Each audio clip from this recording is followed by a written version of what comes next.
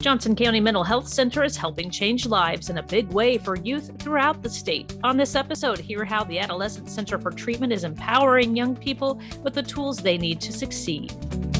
Whether you live in or just love Johnson County, Kansas, Joco on the Go has everything Johnson County. Here's what's happening and what's coming up in the community you call home.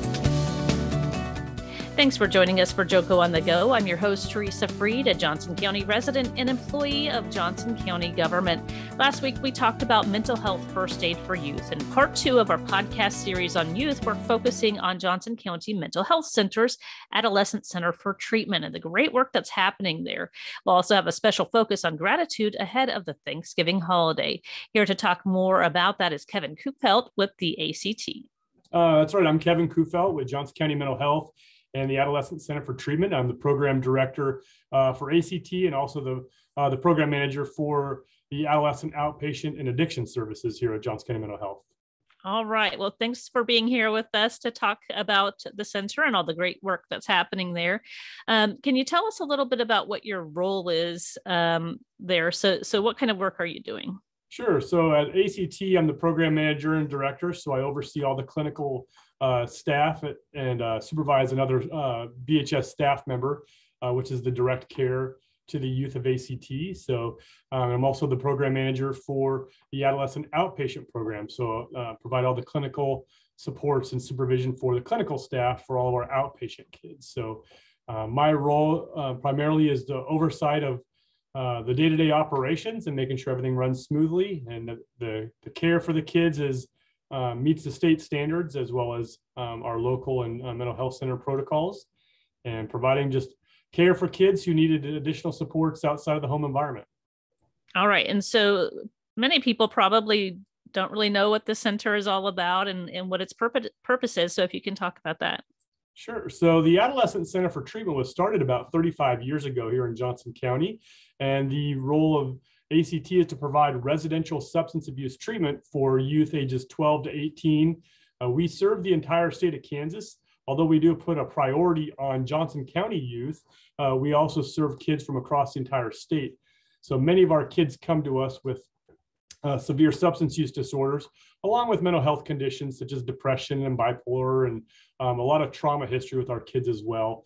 Uh, with ACT, uh, because we're the only one in the state of Kansas, we have uh, kids coming from uh, you know probation, the court services, they're in state custody. We also just get kids that are coming that families have concerns about their child's substance use uh, involvement. So really providing a comprehensive level of care for all kids and also focusing on their mental health conditions as well. And so when you talk about that age range uh, going all the way down to 12, it's kind of hard to believe that that children that young are encountering this issue. So can you talk a little bit about that? Sure. So the average age of first use in the state of Kansas for any substance is 12 years old. So we're talking middle school kids. We're talking sixth grade, uh, going into seventh grade. So um, the average age of first use continues to go lower and lower as we see uh, the stigmatism attached to cannabis use going um, going away. Um, the availability of vape devices and, um, and electronic e-cigarettes. So um, kids are using at an earlier age, and we're seeing that we need to now provide more preventive strategies into the middle schools and also start kind of educating folks at the uh, at the elementary level too so um, what once was targeting high school kids with substance use prevention and treatment well now we're starting to narrow that scope down to a younger age as well and so what kinds of substances are children encountering so the number one drug of choice throughout the state of Kansas would be nicotine. So that'd be number one. But then when you pull nicotine and vaping out of the equation, we're looking at marijuana and alcohols being number two and three. Um, obviously, marijuana is being legalized across the nation from some medicinal uses as well as some recreational use from state to state. So uh, we are seeing more of a, an availability of some of those higher potency marijuana components with edibles. Um, the concentrates are kind of hitting the market pretty hard from, from dab devices and oils and concentrates and carts.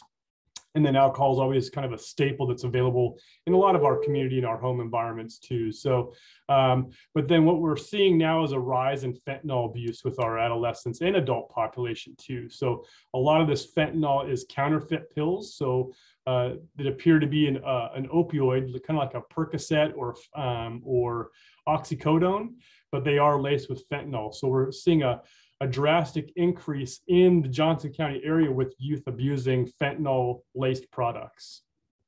So is part of the, the work that's done there at the center, is that a detox as well, or?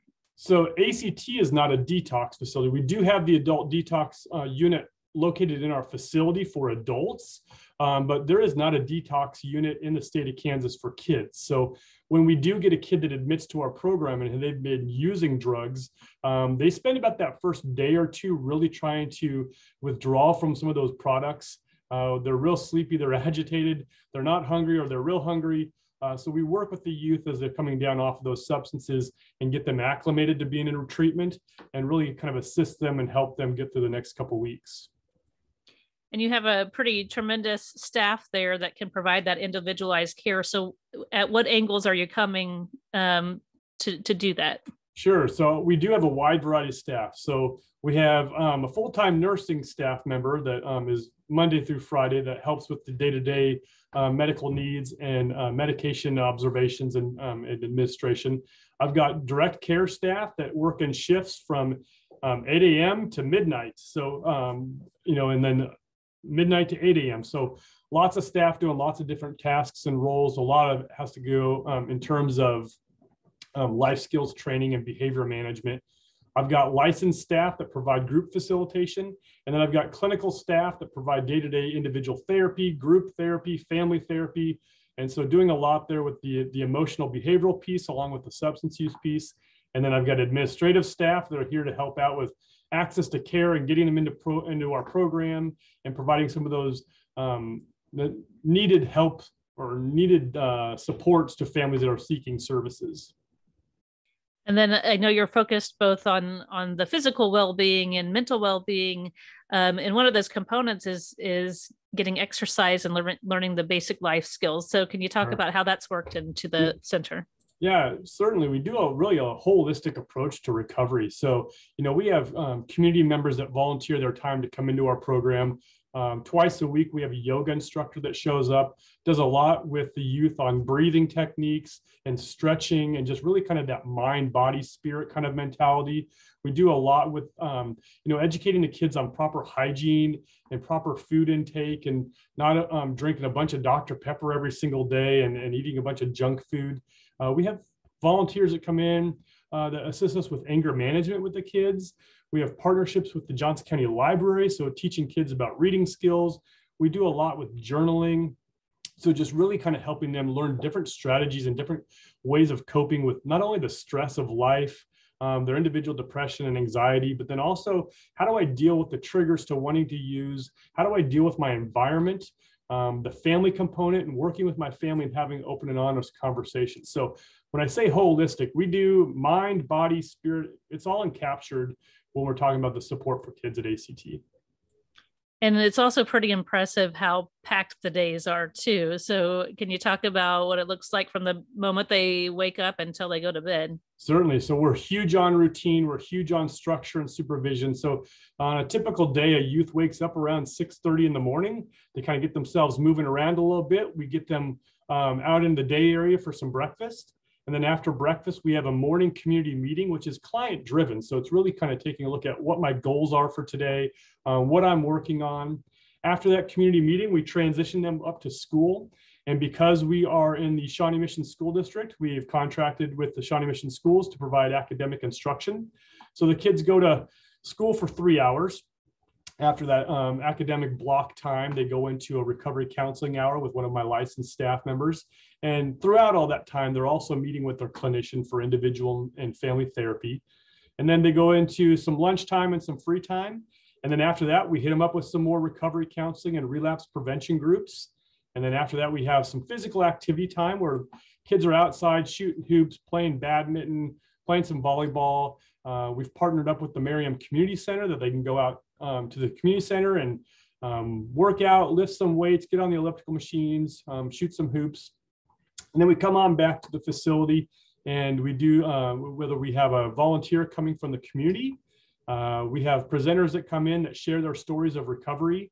And then we do um, some additional recovery hours during the evening. And then uh, we kind of start to wind down the night. Um, we don't do a lot of technology late at night because we really want their, their minds to kind of come at ease. We do kind of a rest and reflect kind of hour where there's some meditation music going on. They can do some yoga, they can do some journaling. Um, and then we kind of we wind the night up, get them back in their rooms, and we start all over again the next day. All right. And then can you talk a little bit about the food service they receive as well? Certainly. So we've partnered up with Hy-Vee. So Hy-Vee brings in our lunch and our dinner options for the kids. It comes fully heated, ready to be served. And that way, you know, we really try to emphasize the importance of um, good nutritional health as well.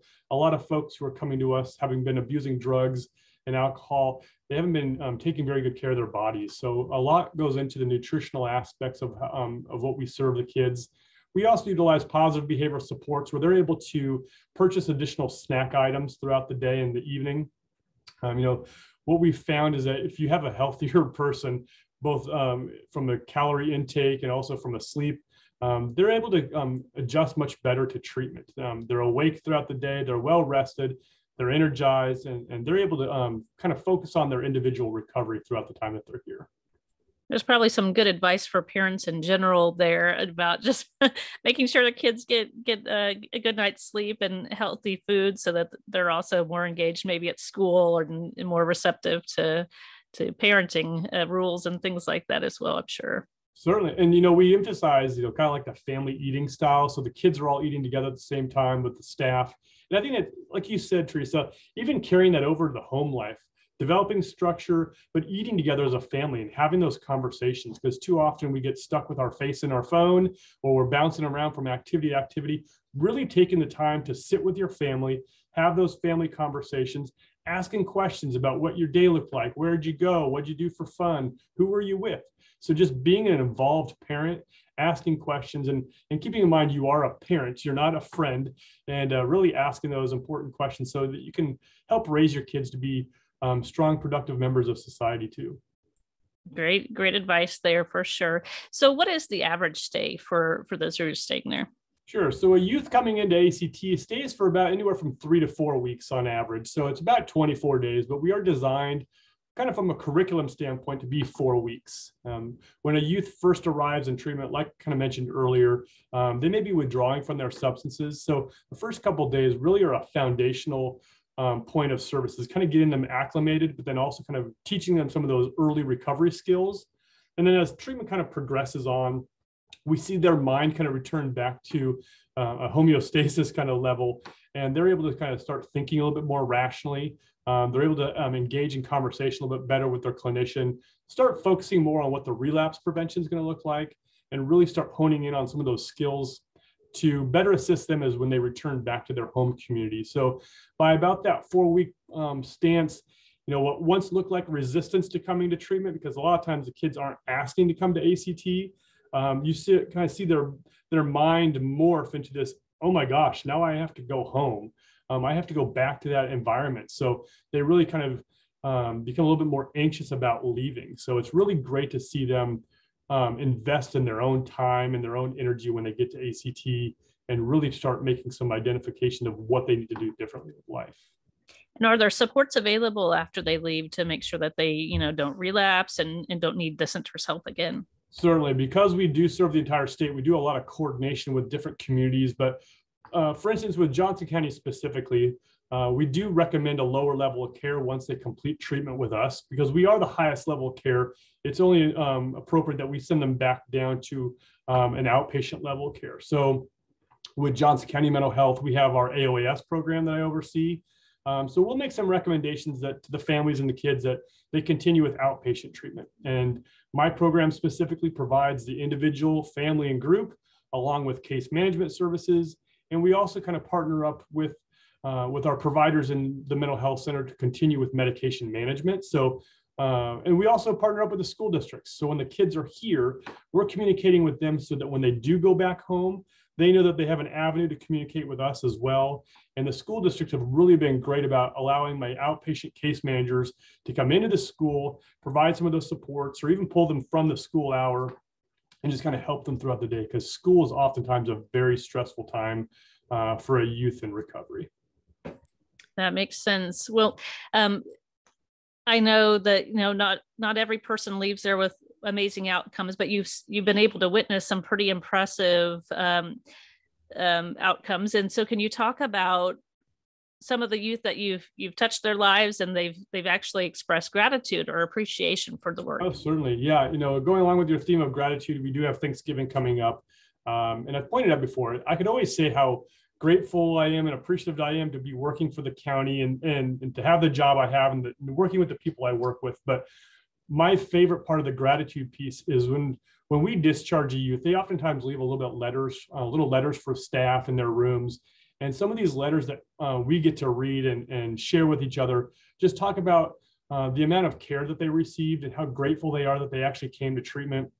Uh, they talk oftentimes about the seeds that they that my staff have planted in them to to flourish and be successful in life and to to live a life of recovery they talk about learning skills that they didn't think that they possessed whether it was leadership or compassion or just um, caring about other people uh, we hear from the families about how we've ultimately kind of saved the lives of their children that um, they were so worried about their kids and their the spiral action that they were going through in their lives so, but now they have an opportunity to, to get their kids back to to hug their children, to enjoy their time with them. So really that's the gratitude that we appreciate is hearing from the kids that we've provided care to. That's awesome. And I, am sure quite a morale booster for staff as well. Um, so, just kind of finally, you know, as we're talking to a broader audience here through the podcast, um, you know, what should parents be looking for? You know, at what point should they be seeking services through you guys? Sure. You know, there's a lot of times that we say there's a lot of red flags that come up that are sometimes tough to see as a parent because when you're in the middle of it but when you start to see um, your child kind of declining from what their typical level of achievement look like if they're not doing well in school if they're no longer playing sports if their social circle of peers have come drastically changed that you don't see the old friends anymore um, maybe the hygiene is starting to decline that they're not um, dressing as nicely as they once were uh, they smell a little bit differently um, they leave the house wearing one outfit and coming back in a different outfit. Uh, so all these little things that you start to take a closer look at.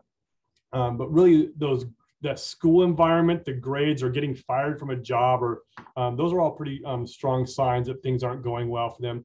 They're more argumentative in the home. Maybe they're sleeping all day. I mean, yes, it's common for teenagers to want to take naps, but they're sleeping all day. They're up all night. They're sneaking out at night. All these little things that you're starting to be like, man, this is this isn't like what my son and daughter used to be like. So when you start to see those things, really reaching out for some supports. Uh, obviously, um, the county has the mental health center that provides a lot of supports from a case management perspective, from a medication perspective. Uh, we have young adult programs, we have pediatric programs, we have the um, substance use program. So really reaching out to the mental health center and getting um, some support there. Um, people want to know, do I need to start with outpatient? Do I need to start with residential? Um, when they call our facility, 913-715-7632, uh,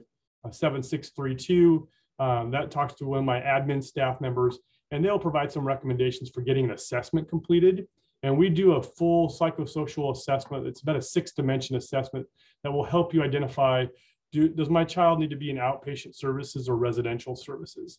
Uh, now, our current facility at ACT is a 10 bed facility. And folks want to know is that enough to serve Johnson County? Is it enough to serve the state?